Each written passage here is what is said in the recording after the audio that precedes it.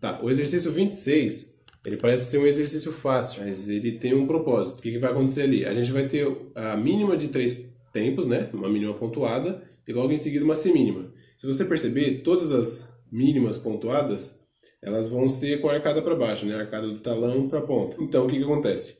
A gente vai ter três tempos e vai usar bastante arco. Quando a gente chegar na semínima, se a gente não voltar todo o arco, né, a gente não compensar o arco, a gente vai ficar com pouco arco quando chegar nas próximas cordas. Então o que a gente vai fazer? Chegou na semínima, a gente usa o arco um pouco mais rápido. Vamos lá.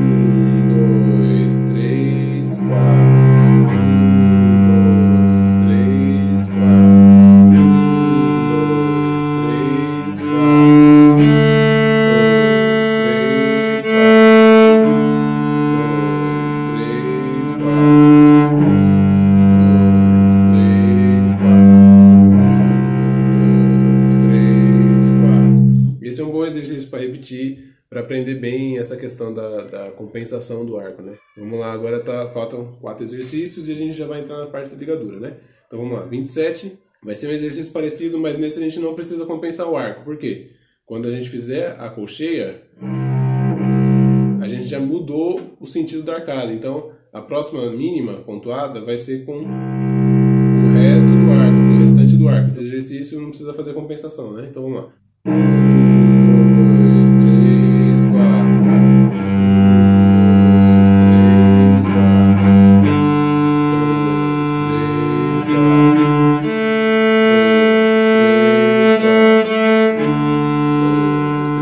Até o final. No 28 a gente vai ter ali três figuras rítmicas, né? A mínima, semínima e colcheia. Então esses três últimos exercícios vão ser essas três figuras rítmicas dispostas de maneiras diferentes, né? Então vamos lá. Um, dois, três,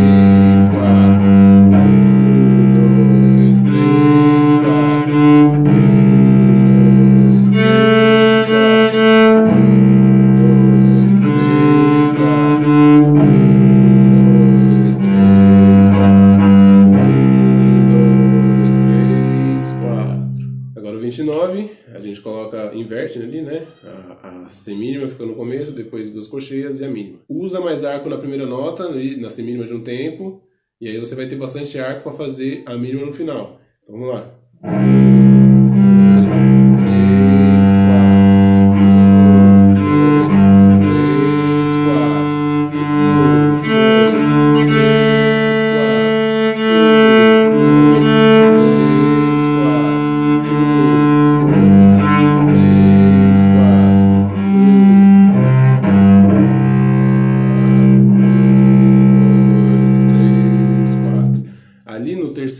Tem mais um erro de digitação, né?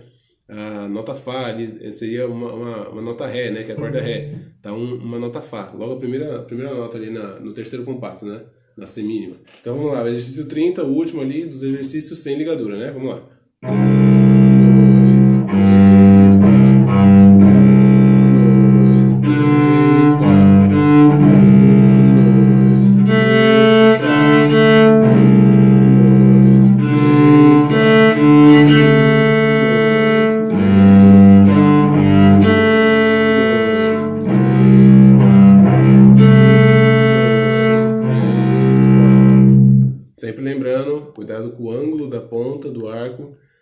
Com a mão que está segurando o arco.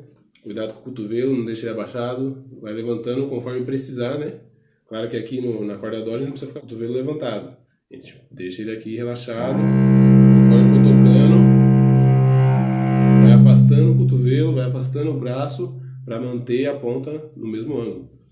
Cuidado aqui para não esbarrar nas outras cordas e cuidado para não levantar o ombro, não deixe o ombro tenso. Vamos começar agora os exercícios com ligadura. O exercício número 31. Temos ali então a ligadura só nas primeiras notas. Quer dizer que a gente só vai tocar as primeiras notas do primeiro compasso com ligadura? Não. Tem escrito ali simile, dizer que o exercício inteiro vai ser similar ao primeiro compasso. A pessoa que digitou ali está com preguiça de pôr a ligadura, ela pôs só no começo. O exercício inteiro vai ser igual ao primeiro compasso. Então ali logo no começo, é, ligadura em duas semínimas, né? Temos quatro semínimas, duas ligadas, duas ligadas. Então como a gente faz a ligadura? A ligadura vai ser uma arcada só. Então, por exemplo, ali no primeiro.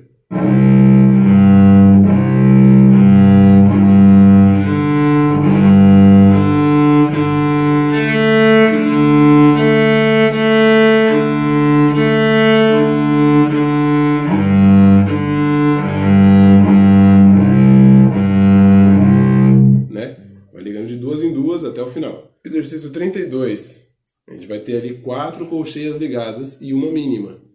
Então, a mínima não está ligada, vai ser só as quatro colcheias na mesma arcada, depois a mínima. Então, vai ficar assim.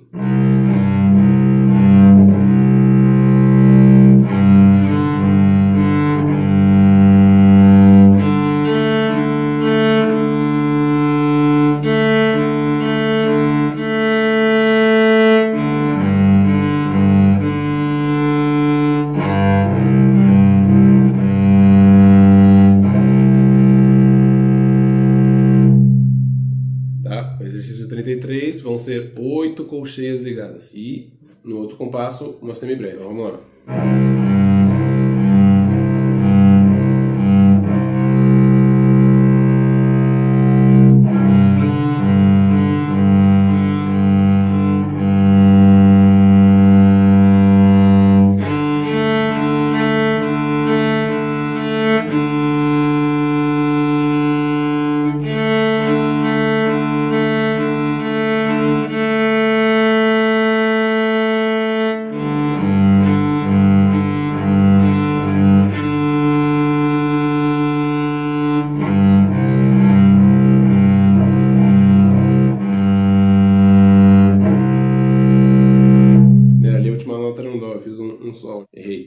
Presta atenção ali, leia a partitura. Muito importante isso também. Tem muito aluno que decora como tá e, e em vez de ler fica fazendo decorado, né?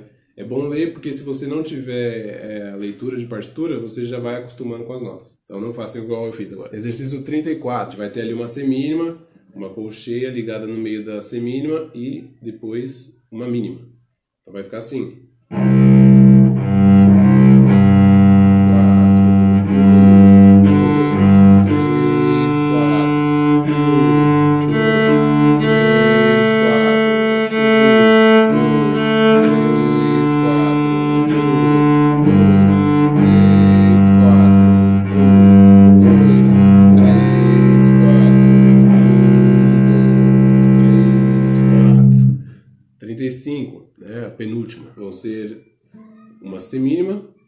Quatro colcheias, né? Duas ligadas de duas em duas e uma semínima no final. Então fica assim.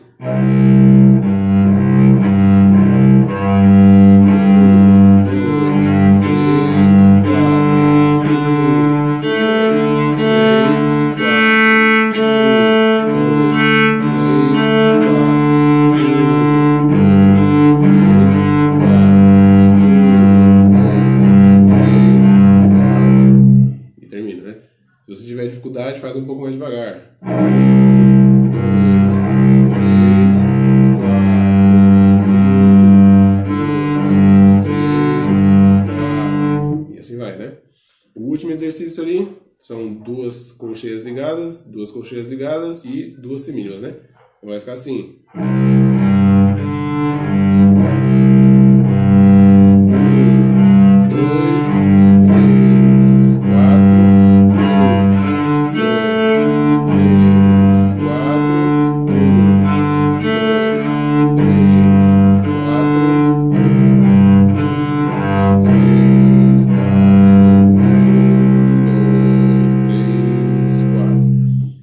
Acabou o primeiro capítulo. Se você não está inscrito, se inscreve aí, dá um like. Vou continuar postando os capítulos do Nelson Gama, tentar fazer o Nelson Gama inteiro, né? Os dois volumes. Já tem algumas lições do capítulo 4 gravado, mas eu vou fazer, eu vou fazer isso, vou fazer desde o começo, fazer todos os métodos, capítulo por capítulo, e vou postando os vídeos aí, tentar fazer um por semana. Então é isso aí, se você gostou, dá um like aí, me ajuda a chegar na primeira meta do YouTube, que é os mil inscritos. Então é isso aí, valeu.